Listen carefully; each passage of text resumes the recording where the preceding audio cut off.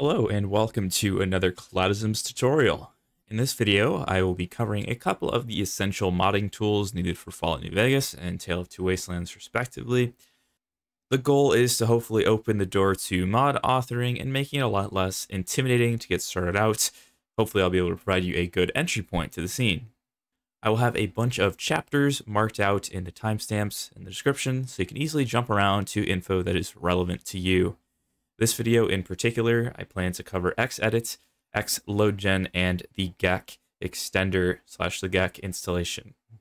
With Xedit and GECK, I do plan on showing you guys how to make just a simple basic plugin that edits a weapon record. Something simple like that, just so you can get your feet in the water and see kind of what the workflow would look like for creating a mod. I'll also show you a little bit about conflict resolution, but the main priority of my guide is going to be to get you comfortable with these programs and to be a starting off point. So I'm not going to go in depth in anything. This is just going to be an intro video.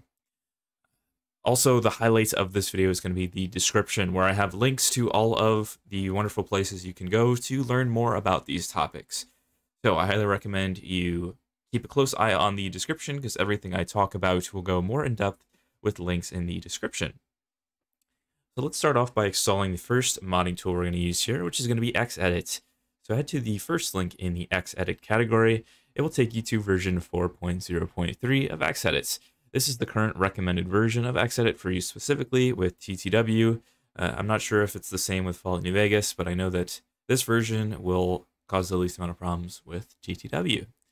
Uh, I also have two more uh, links that will be provided in the description. The first one here is for the method, which is all about conflict resolution and the method to making mods work properly. Uh, I highly recommend you read over this, as well as I've got a resource link to some more conflict resolution, as well as Lively Dismay's Learn to Mod page. To go back in here, you can just click Lessons and view all of the different lessons he has here. So with that being said, let's install Xedit here. So just scroll to the bottom of the GitHub page and download the sseedit.zip.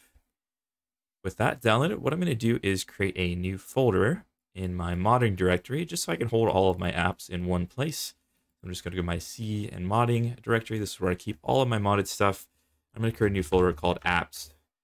Within here, I'm going to also create an Xedit folder. So follow along with me if you would like. Within the Xedit folder, we're just going to open our downloaded file. And we're going to drag and drop all of these folders into here. With that being done, the program's now installed. All I'm going to do here is rename the sseedit.exe, and I'm going to call it fnvedit. That'll just make it so this loads the Fallout New Vegas variables. So we're going to leave this as is, and we're going to open up our mod manager of choice so we can run these programs through our mod manager and initialize all of our mods. So I'm using MO2. I highly recommend you use it as well. To add a new executable, you can do it in a couple different ways. You can do it over here in the executables list, but I always just go to here and edit. Let me just remove these old versions so we can set up some new ones. And all you need to do is click on the plus up here and add from file. We're now just going to open the path to our modding apps xedit directory, and we're going to add in that fnvedit.exe just by double clicking it. So within here, you see it's filled in the binary for you. We are also going to add a couple arguments here. The first one we're going to do is just dash I know what I'm doing. What this is going to do is it's going to get rid of a couple double confirmations and tutorial messages for you. You don't have to remove this or you don't have to add this line if you don't want to. I just find that it makes the tool a lot more easy to use. I know that's kind of a conflicted statement, but is what it is. Um, so with this argument, we're just going to leave it at just this one. If you didn't rename your exe to fnv edit, you also want to add in the arguments of dash fnv and then just click apply. Now, what I also like to do is instead of all of the edits I'm going to be making or all of the cache files, uh, going to the overwrite folder in MO2, I like to make its own mod. So let's go and do that real quick. Um, I already have it set up, but if you would like to do this on your own, just right click in an empty space in MO2 and click create empty mod. And then I just like to create a mod called xedit output. Click OK to create it. And then this is what it would look like. I just even have a little separator for all of my tool outputs. So let's go back into here and add that output. So click back on your FNV edit, and you're going to click this little checkbox that says create files in mod instead of overwrite. And then just type in xedit, it'll pop up. And now all of your files will be contained within there. That way you can keep your overwrite folder clean and keep everything organized. So just click apply and okay. Uh, actually, before you click OK, we're actually just going to clone this a couple times so we could run a different couple different xedit processes. So just click the plus with uh, FNV edit selected and click clone selected. We're going to call this first one here FNV edit QAC, which stands for quick auto clean. Then you're also just going to add a dash QAC argument to that. We're once again going to create the files in the mod, and we'll just do xedit output once again. Click apply. We're going to clone this one as well, and then just uh, name this VQSC for very quick show conflicts. And then we're just going to rename that QAC argument to VQSC, just like that. Create uh, the files in the mod once again, call it xedit outputs. Now everything is going to be set up. So I'll talk about what these each do a little bit later on. We're going to start out with FNV edit. So within the executables drop-down list, just select FNV edit, click run. When the program opens, there's going to be a couple things on screen here. So as you can see, you see all of your plugins, which are your ESMs, ESPs, and you also see little checkboxes here that will tell you whether or not they're going to be loaded into the program. So if I didn't want anything to be loaded, I could right click, select none. If I only wanted to load one specific thing and all of its masters, I would just double click on something. You could also shift double click to load a little bit quicker. Um, you could also just enable everything and look at everything all at once.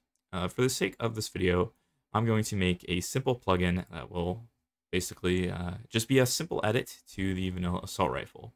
By vanilla rifle, I mean the Tale of Two Wastelands one. So what I'm going to do is I'm just going to double click Tale of Two Wastelands to load Tale of Two Wastelands.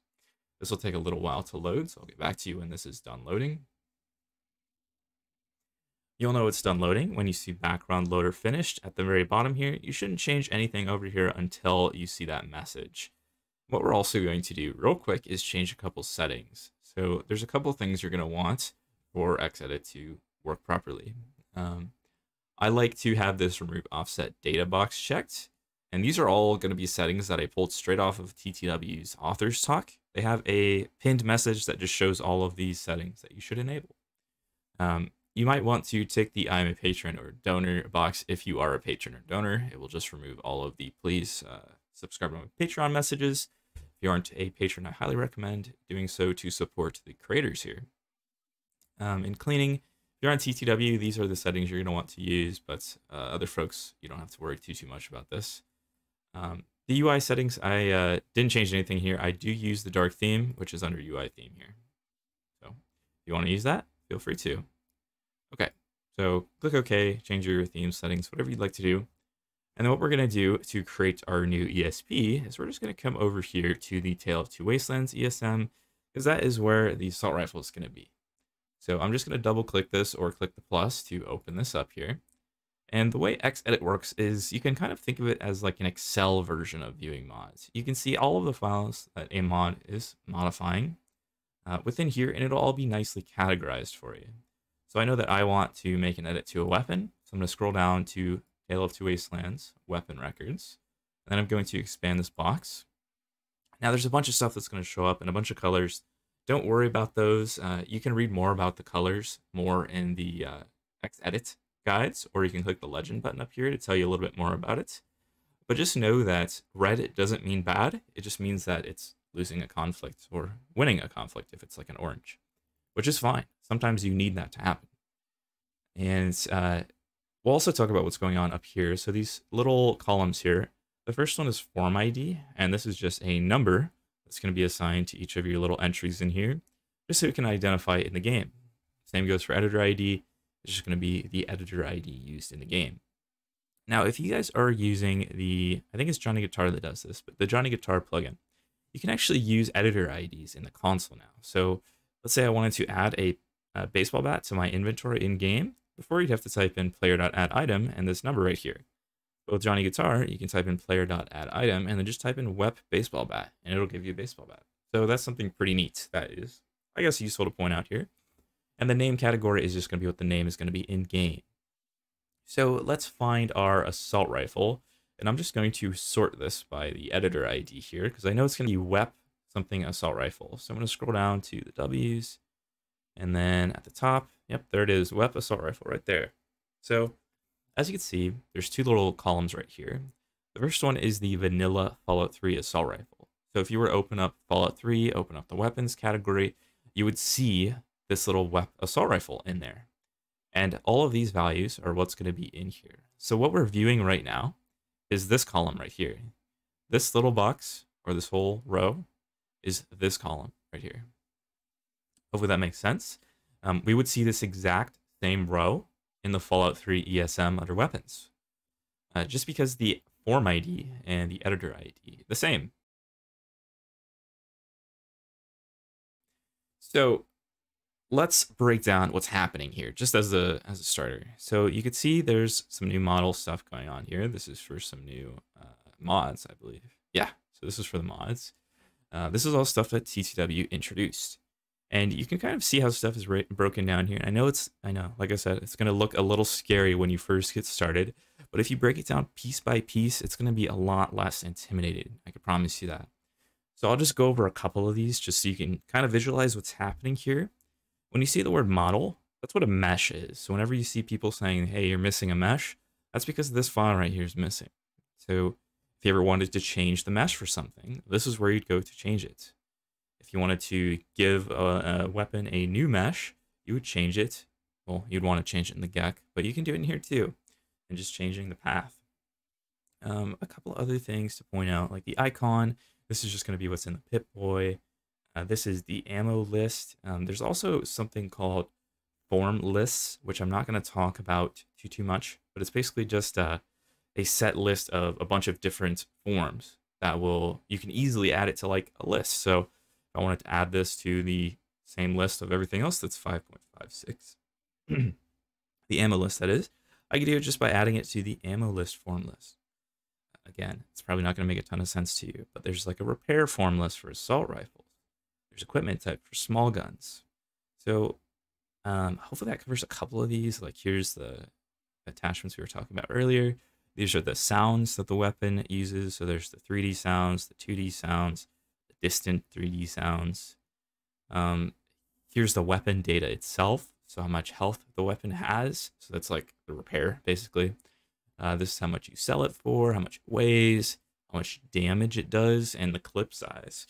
Um, and then there's a bunch more in-depth uh, data down here. So for the sake of my little test plugin, I'm just going to be editing a couple things like base damage and clip size. And the proper way to make edits to mods or the ESMs, like the base game ESMs, is to do it in a plugin so that you're not just messing up the records and you could share it easily without ruining everybody else's game. So to start editing these Tale of Two Wasteland values, but in our own plugin, what we need to do is head up here to the header for Tale of Two Wastelands, right click it, and copy as override into. And this is because I typed in I know what I'm doing wrong, so I'll show you guys how to type that properly. Uh, but just click yes, I'm sure. And over here, you get three options. New file ESP, new file ESP again, but this one has an ESM flag to it. Then you have new file ESM. You never really want to do new file ESP with the ESM flag. If you're going to do an ESM, just do an ESM unless you need to have your overwrites in a, in a weird order. So in most cases, you're just going to want to use an ESP unless you know why you need to use an ESM. If it's like nav meshing or character information, stuff like that. So for this, we're just going to double click on new file ESP. And I'm just going to call this ESP. So this is the name of the plugin itself. I'm just going to call it assault rifle buff. And then, okay. So as you can see, all of the values from TTW were copied over to this list. Now, if I change the damage, I'll just bump it to something crazy, like 50. I just double clicked on that, typed in 50. You can see it came up red. That's because this one right here is losing the conflict, and the orange one is winning the conflict. So basically, this won't be in the game, this will be in the game. Now, I'm also going to change the clip size to 100, just to go crazy. This is just so we can easily visualize what's going on. This is basically just saying, hey, this is going to override all of the settings here and it's going to win the conflict. The reason that this is not red here is because it isn't conflicting with another existing one. So if this was like six or something, this would show up as red and this one would show up as orange. Hopefully I explained that well. So with these very simple edits done, we're just going to save our plugin. So just head up here and save. And you should only see your plugin in here. If you see the file that you were editing, that means you were probably editing the, uh, the ESC, ESM or ESP itself and not making a new plugin for it. Also down here is the backup plugins button. This is so that you can basically create a backup of before you started messing and saving around. So if you are working on a longer project and you're a little bit into it and you're worried that something you changed might break something, just check this. It won't hurt anything. You could just always back up whenever you want to. It's not going to take any space or ruin your game or anything. So click OK to save your file. See, I didn't get any errors. It just said it's done saving. So we can just close that Xedit and it'll close down. Now in our Xedit outputs, oh, also make sure you have these enabled so that they actually work. I think we can error if you don't have them enabled. You'll see my little ESP showed up over here. So I would like to make a home for that ESP. So I just click open in Explorer there so I can see all the files. And I'm going to put this ESP inside of its own mod. So I'm going to right click, create empty mod, and we'll just call this assault rifle buff. Okay, so with that, control double click to open up an Explorer. And you can just drag your ESP file into here, just like that. Now within MO2, just refresh it so it knows that something changed. You can see this will light up white, and we'll just enable it. You can see my little ESP just showed up down here. So let's head in game just to make sure we see everything that changed. Alrighty, here we are in game. So I'm just gonna find our, let's just grab some ammo, whoops, and then we'll find our weapon. And we wanted the assault rifle. So if we scroll down, here's the assault rifle. And let's go ahead and look at it in our Pip-Boy here. As you can see, the damage has been bumped substantially and our new clip size is 100. We equip it, we can see that effect. And if we shoot our gun, not gonna bug or anything, we are gonna get a whole 100 shots in our magazine. So that's a simple edit that you can make. And we'll go a little bit deeper with the GECK here in a moment. So let's go ahead and close out here and see what else we can do with the GECK. Alrighty, there is one thing I forgot to mention before we move over to the GECK, and I'll just show you guys that real quick. So open up X Xedit and then shift double click on your plugin to open it real quick. And if you want the GECK to work properly with your plugin, you need to add all of the masters of your plugin manually through Xedit. So right click on your plugin, as you can see, we only have three masters. So we've got Fallout New Vegas, Fallout 3, and Tale of Two Wastelands. Now, Tale of Two Wastelands itself has a ton of different masters, and we need to make sure that all of these are added as masters so the GECK doesn't crash. So right click on the assault rifle buff, and then you're going to go to add masters at the bottom, and you're just going to select all of the masters of whatever it is that's already a master to you. So for this mod in particular, I'm doing Tale of Two Wastelands, and Tale of Two Wastelands has every single one of these as masters. So add every single one as masters. You can see it's going to not throw you any errors saying all the masters have been added. And you can save your plugin, all the new masters. And if you click on it once again, you should see all of these populate down here now. All right, let's go ahead and close out. And now we can head over to the GECK. Okay, so sorry to jump in awkwardly like this, but while editing this video, I realized it made a lot more sense for me to just cover the end of Xedit in this video rather than just having one large tutorial and split it up into three separate program-based tutorials. So if you'd like to see the GECK stuff that I'm going to do next is just going to be clicking the next video in the playlist to learn about the GECK itself. Um, instead of jumping to the GECK in this video, we're just going to cover some topics that I covered after working with the GECK in what would have been this plugin's uh, workflow. So I'm going to show you some things like conflict resolution, just one example, um, what cleaning a plugin does, and how to remove records from your plugin. So if you would like to learn stuff like that, stick to this video. But if you'd like to jump into the GECK, head on over to the next one. Sorry about the awkward transition here, but I figured it would be the best way to do this. Alrighty, so here we are in game, and the conflict I would like to patch here is that my uh, I use a mod here that adds this cool blimp to the uh, Lucky 38 surrounding it, and it'll just fly around it. Um, but the conflict is that the world space is going to be changing on the inside there, and I'm not sure which mod does it. Uh, but it doesn't include the blimp, so I need to find a way to patch it in. So let's head inside. Oh shoot, sorry. let's just uh, apologize to these people real quick. Let's go inside so I can show you what I mean. So since I am using a bunch of different strip related mods, uh, the blimp, oh my gosh, probably should have cleared this up before I came in here, but uh, as you can see, there's no blimp here. And I want it to be here, so let's go patch this and make the blimp show up. So I'm just going to create a save real quick so we can do before and after here. And to do this, I'm just going to run very quick show conflicts again. And I've got a feeling I know which mod this is, but we will find out here in a moment. So I'll get back to you guys when this is done loading. Alrighty, so I found the mod that was adding the blimp, and now I am going to figure out which records, records aren't showing up. So as you can see, these red ones here means that they're losing conflicts, and they're not showing up at all. And if I expand this a little bit, I can give you some more detail. So as you can see, the things that it's trying to do is it's trying to place this Zeppelin duplicate here and this animated static Zeppelin. So I want both of these to be here. And these are the, the same thing, by the way. I just have a patch that for some reason includes everything.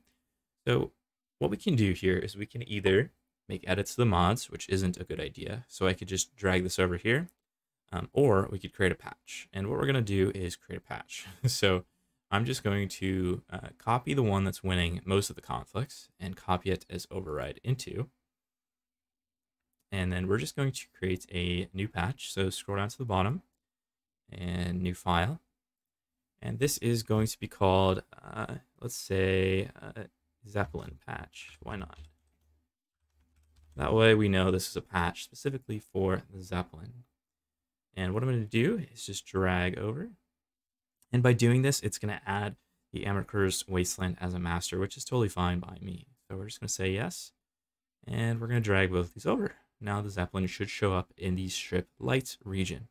I'm just going to do this for all of these regions because I know that it's missing in all of them. So I once again am just going to copy as override into and then my Zeppelin patch. Oops, actually we'll do this to the one that wins. So copy as override into Zeppelin patch. And it's going to say, hey, it's going to add these two things as masters. Do you want to continue? Yep, I'm totally fine with that. Since this is just going to be patching my mod list, uh, I am totally cool with having everything being uh, masters. And once again, just copyright as override into Zeppelin patch on the last one, drag and drop these values, keep on going, selecting the winner and duplicating it and adding patch. Whoops, so I messed that up there. As you can see, we have NVZ on the bottom, we NVBOS on the top. And then we'll just do the same thing. I'm going to do all of these and then I will cut back to you guys. Alrighty, so I just finished adding the last one to my patch here. And to clarify something once again, you don't want to just, the goal here isn't to make everything that's red green. It's to systematically and carefully choose the overrides that you want to win. So I'm not just dragging these haphazardly. The reason I'm dragging these specific records is because I know exactly what these records are going to do. Uh, if you ever notice like a red, a red conflict that says, hey, this file is not going to load it's possible that it's intentional. So you don't just want to always drag things forward, assuming that's conflict resolution, because it's not. You want to make sure you're carefully and precisely doing this and not just haphazardly making everything green. So with that being hopefully clarified, we can save our new patch. So I'm just going to exit and it's going to prompt me to save it and I'll say yes. And that's going to create my new patch. If I head back into uh, MO2, I should see my patch in the Xedit output. So I'm just going to create a mod here just because I'm going to want to keep this for later. And I'll call it my uh, Zeppelin patch. Obviously, you're going to want to be more descriptive, like for which mods you're patching.